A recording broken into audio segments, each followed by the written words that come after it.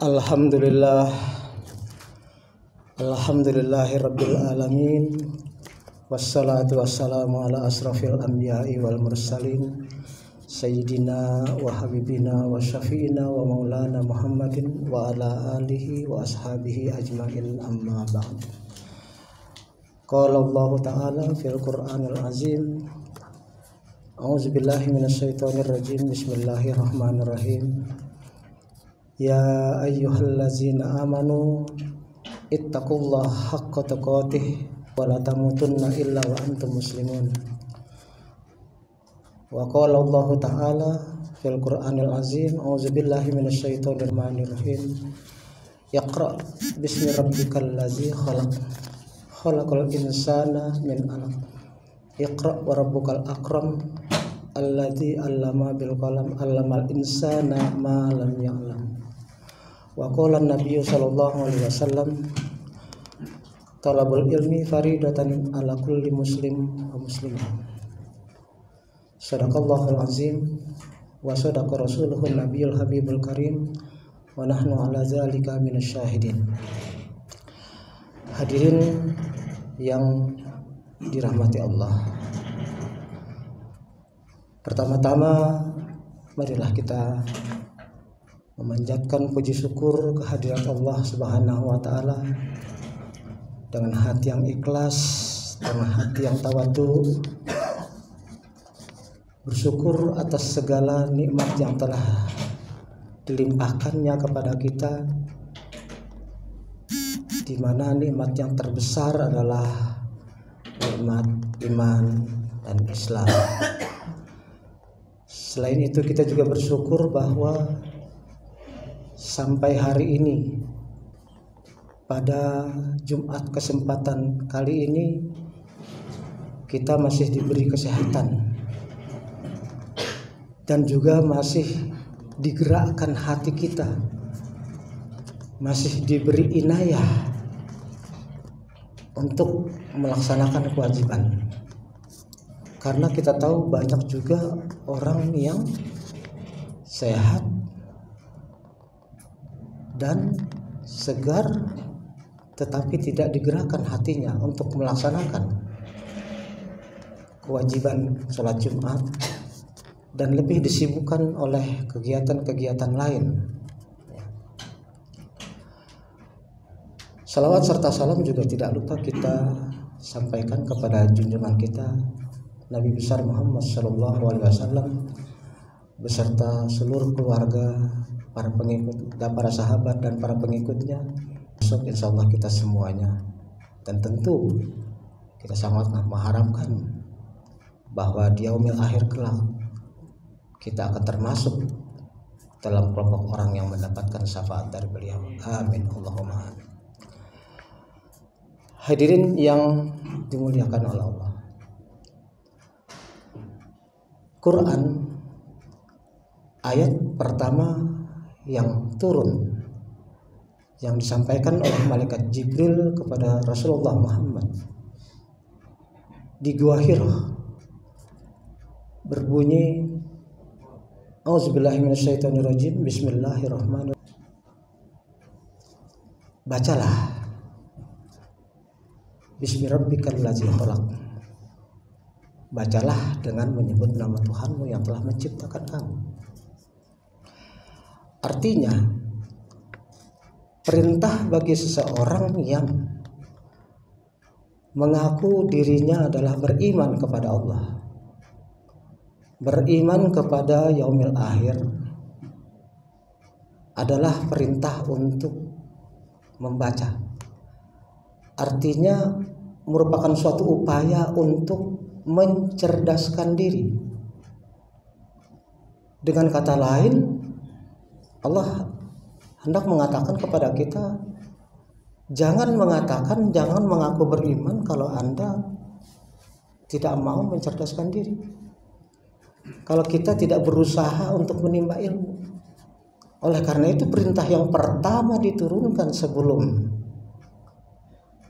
perintah-perintah yang lain adalah perintah untuk membaca. Perintah untuk mencerdaskan diri, perintah untuk membuka wawasan. Ini juga merupakan suatu cerminan bahwa Islam adalah suatu agama yang sangat mengutamakan ilmu pengetahuan. Bukan agama yang harus diterima begitu saja tanpa ada dasar pengetahuan sama sekali. Meskipun kita tahu bahwa di dalam agama Islam berlaku yang pertama adalah iman dulu baru kemudian akal. Tetapi di samping iman dan akal itu ilmu juga merupakan dasar fondasi yang akan menjadikan bangunan keimanan seorang muslim itu kuat atau goyah.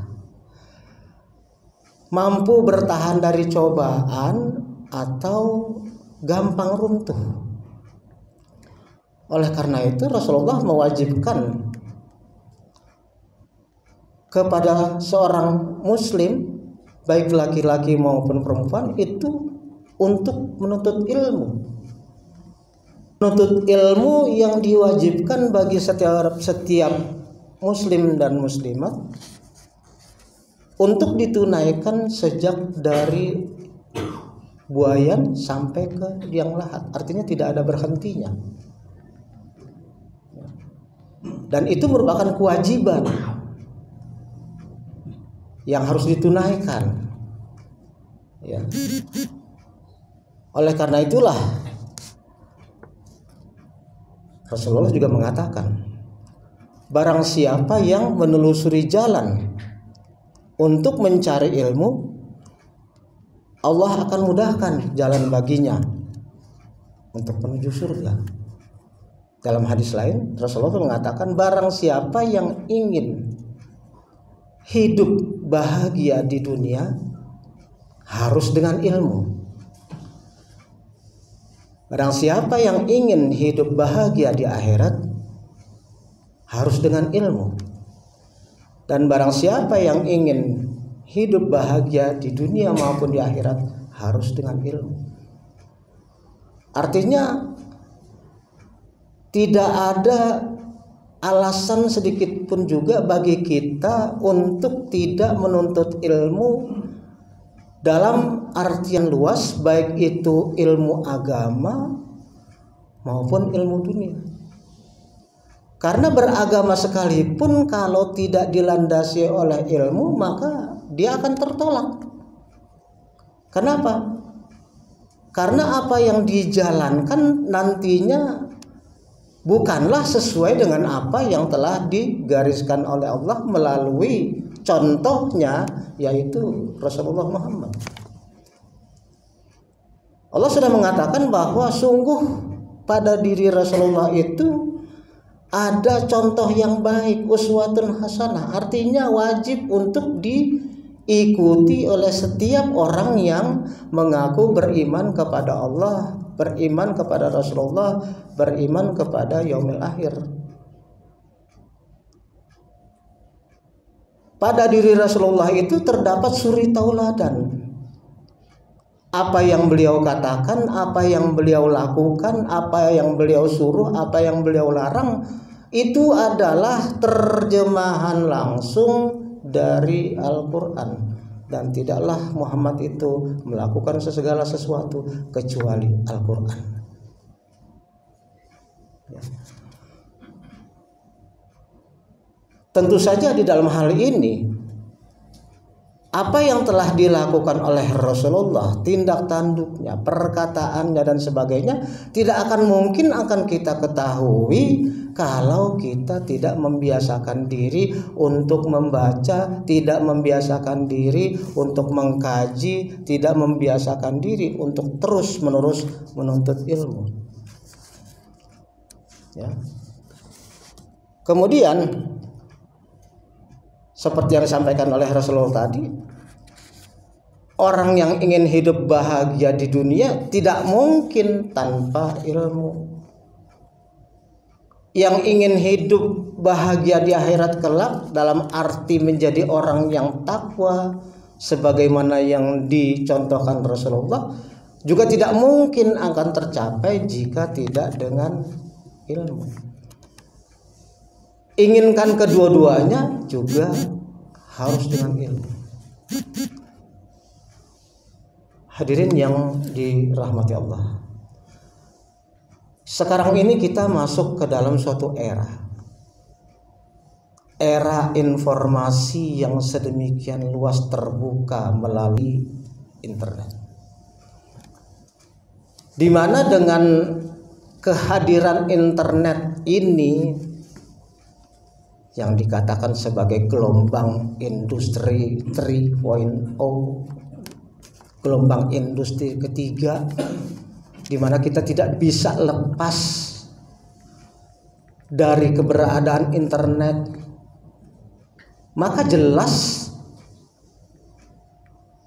bahwa kehadiran internet itu juga merupakan suatu sarana untuk menimba ilmu secara lebih mudah.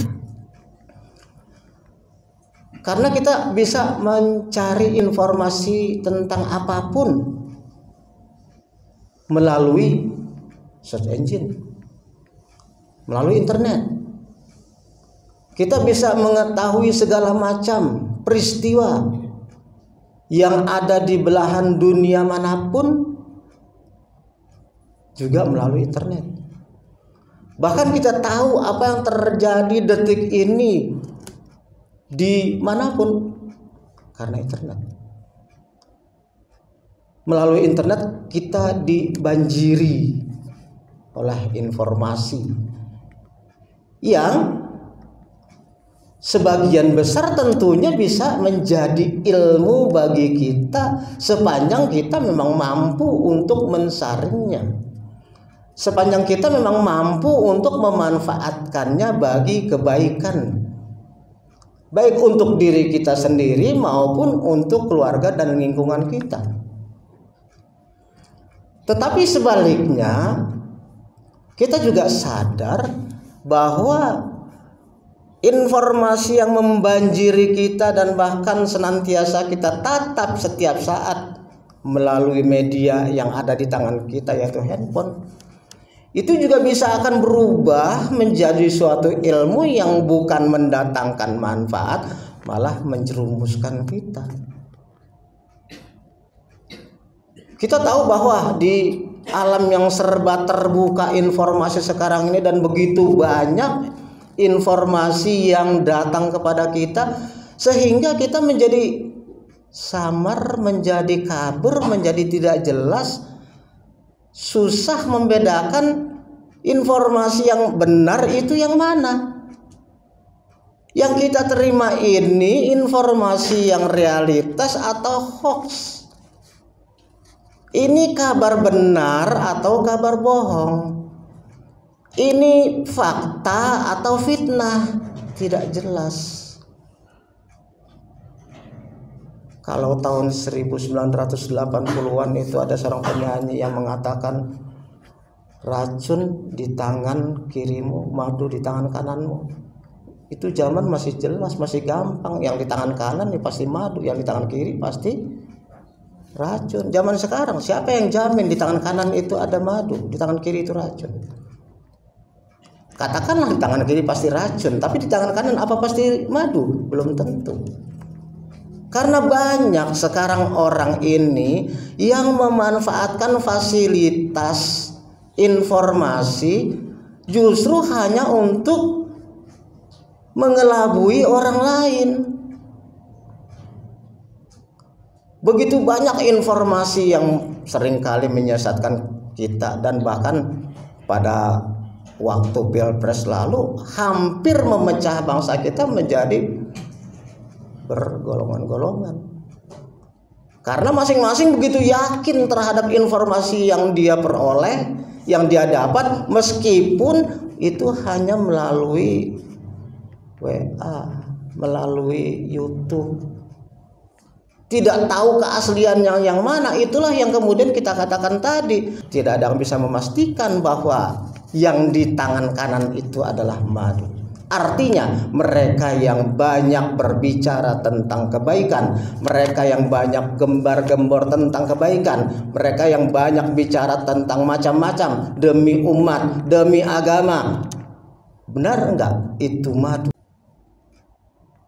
Karena kenyataannya memang demikian. Banyak peristiwa-peristiwa akhir-akhir ini yang kita lihat dengan memanfaatkan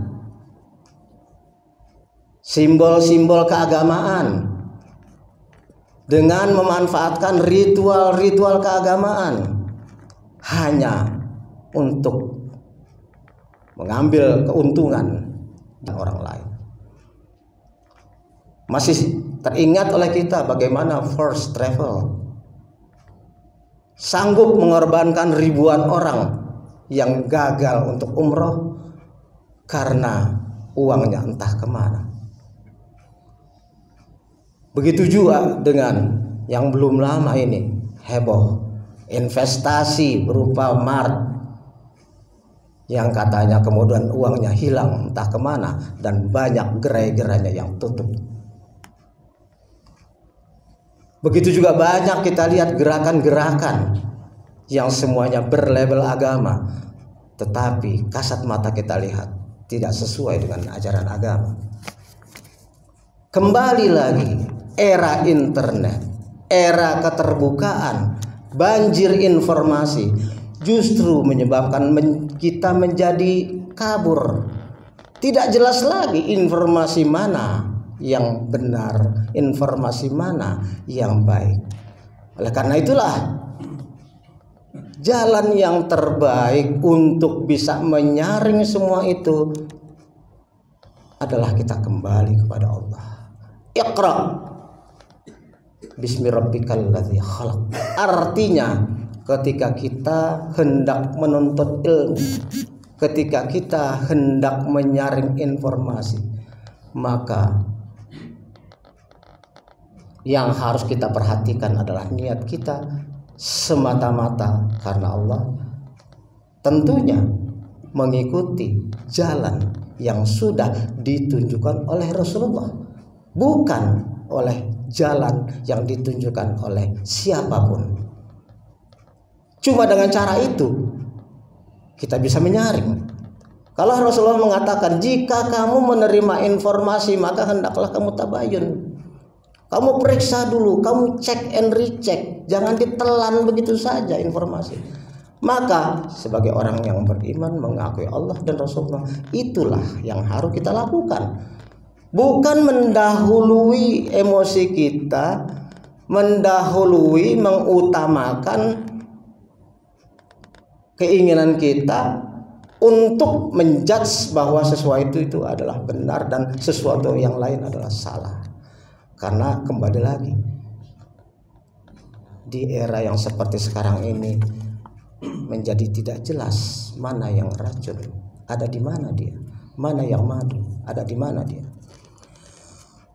Oleh karena itulah kembali lagi kita harus seperti yang disampaikan di dalam Al-Qur'an tadi. Kalau tidak, Allah juga sudah warning bahwa kalla innal insana layatuhu arra'ahu stagna. Kata Allah, sungguh manusia itu benar-benar melampaui batas. Karena apa? Apabila dia sudah merasa serba cukup. Artinya kalau orang sudah merasa pinter, kalau orang sudah merasa ibadahnya yang terbaik, kalau orang sudah merasa bahwa dia sudah menjalani semua perintah Allah. Seringkali iblis menggoda. Yang tentunya dengan godaan yang maha halus. Yang mencoba meyakinkan dirinya bahwa dialah yang benar orang lain salah. Maka kemudian timbullah perasaan anania ego yang sangat tinggi takabur merasa dirinya yang paling benar dan kemudian pada akhirnya memaksakan kehendaknya kepada orang lain.